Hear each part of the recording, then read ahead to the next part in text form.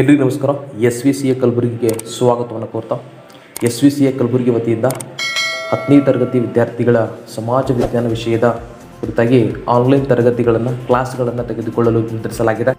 ಈ ಲಾಕ್ಡೌನ್ ಅವಧಿಯಲ್ಲಿ ಶಾಲೆಗಳು ರಜೆ ಇರುವುದರಿಂದ ವಿದ್ಯಾರ್ಥಿಗಳಿಗೆ ಹೆಚ್ಚಿನ ಅಧ್ಯಯನದ ಅವಶ್ಯ ಇರೋದರಿಂದ ವಿದ್ಯಾರ್ಥಿಗಳಿಗೆ ದಿನನಿತ್ಯವಾಗಿ ನಾವು ಸಮಾಜ ವಿಜ್ಞಾನ ವಿಷಯದ ಕುರಿತಾಗಿ ಎರಡು ತರಗತಿಗಳನ್ನು ತೆಗೆದುಕೊಳ್ತಾ ಇದ್ದೀವಿ.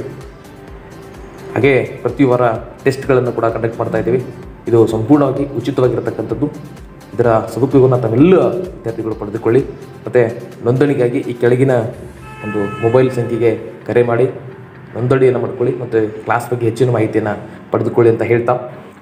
ಹಾಗೆಯೇ ತಾವು ಕೂಡ ತಮ್ಮ ಸಂಪರ್ಕದಲ್ಲಿರ್ತಕ್ಕಂಥ ಹತ್ತನೇ ತರಗತಿ ವಿದ್ಯಾರ್ಥಿಗಳಿಗೆ ಈ ಉಚಿತ ಸಮಾಜ ವಿಜ್ಞಾನದ ಆನ್ಲೈನ್ ತರಗತಿಗಳ ಬಗ್ಗೆ ಮಾಹಿತಿಯನ್ನು ಕೊಟ್ಟು